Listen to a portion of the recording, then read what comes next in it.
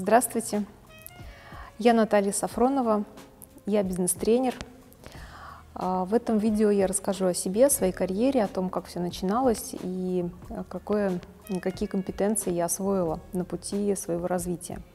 С 2013 года я бизнес-тренер.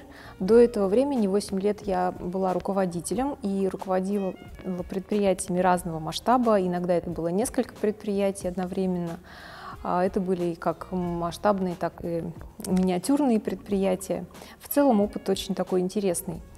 А вообще мое высшее образование – это организация коммерческой деятельности, работа с людьми, управление, а, построение эффективных бизнес-процессов. И в целом мое образование в общих э, таких чертах, оно мне очень помогало.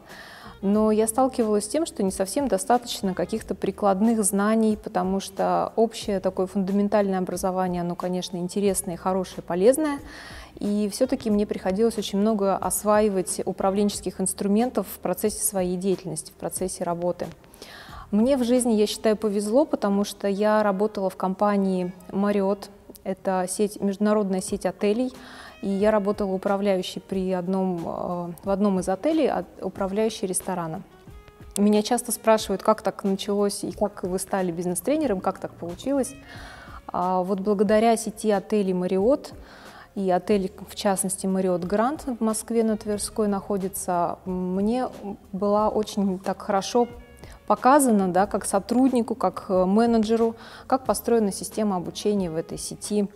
И обучение разных уровней, разных компетенций, и мировоззренческое, и навыковое обучение, а в том числе и не только на русском языке, но и на английском, так как стандарты международные, нужно было их знать.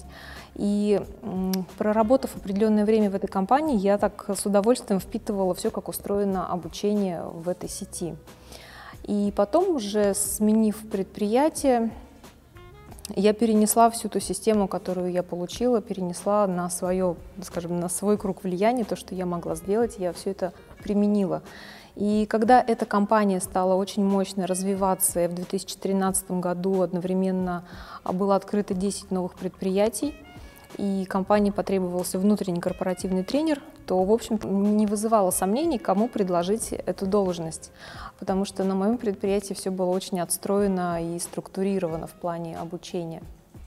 И вот так с 2013 года я стала бизнес-тренером. Сначала это был внутрикорпоративный формат работы, и последние два года я тренер-фрилансер, и даже, может быть, э, назову себя таким другим словом, это трекер. Трекер – это тот, кто сопровождает компанию на пути ее развития, на пути достижения целей.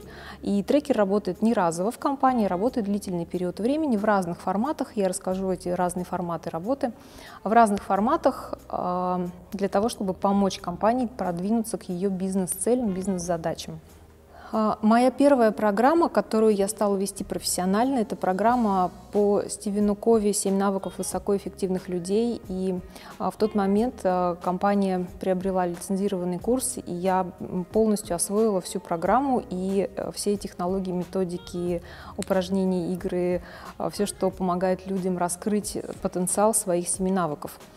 И Далее, уже с 2014 года мне стало интересно получить профессиональное образование бизнес-тренера. Я поступила в открытый университет Марка Кукушкина, и в течение года я обучилась, получила диплом тренера, который, наверное, считается одним из самых а, востребованных или самых а, лучших, которые подтверждают компетенции бизнес-тренеров. Это очень достойно получить образование у Марка Кукушкина. И после 2014 года, так как это человек такого очень широкого мировоззрения, и он посеял много-много зернышек, какие еще тренеру нужно развивать компетенции, в общем-то, мой путь развития только начался а, в этот момент. И я обучилась технологии фасилитации, коучинга, Э, НЛП, процессуальной психологии. Кроме того, меня очень интересовали сферы личностного развития, потому что работа с, в тренинге, работа с навыками, это в том числе работа с личностным уровнем отдельно взятого человека, и мне было очень интересно узнавать про личности, поэтому я изучила такие сферы, как э, биоэнергетика, астрология и даже сексология. А в силу того, что я вообще ну, выходец из таких мощных корпоративных структур, то мне очень понятно, как работать с корпоративными заказчиками. И мои основные заказчики, клиенты — это крупные компании, которые имеют а, несколько предприятий, структуру четкую, разнообразные подразделения, отделы, и каждый понимает, у кого какая должность и кто чем занимается. И вот такие крупные заказчики — это мои заказчики. И несмотря на то, что они крупные, вот чем больше компаний, тем больше, наверное, есть такого коммуникативного шума, когда людям действительно сложнее понимать друг друга, есть а, моменты разногласий. И вот это как раз те темы, которые мне очень интересно и исследовать, и помогать в этом разбираться заказчикам. Около 50 компаний, так на вскидку, если сказать, э, за вот эти 6 лет, с которыми мне удалось поработать в разных городах. Это город Москва и города Сибирского региона. Кемерово, Новосибирск, Новокузнецк – это основные города. А, мои компании — это крупные компании, которые занимаются клиентским сервисом. Например, это компания ресторанного гостеприимства. И вот один из моих основных, долгих и крупных таких заказчиков э, имеет предприятия в разных городах. Это Кемерово, Москва и Новосибирск. И вот в связи с этим мне удалось поработать с разными городами. И несмотря на то, что одна компания, одно единоначалие, каждый город имеет некоторые свои особенности культурные и а, профессиональные. А есть одна компания «Сибирская вышивальная фабрика». Это производственно-торговая компания.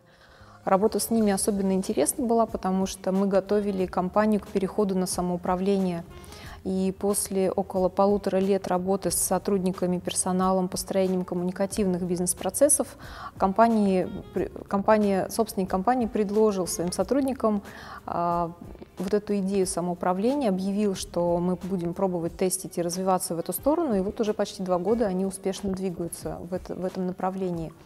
А самоуправление – это тоже такой момент, кажется, много свободы, но в этой свободе много и сложностей возникает, потому что там никто не прикажет, никто не заставит и никто не, не определит, как тебе двигаться. Каждый должен сам себя определять. И в этой связи самоуправляемая организация – это такая большая атмосфера для личностного роста, для прокачивания личностных качеств.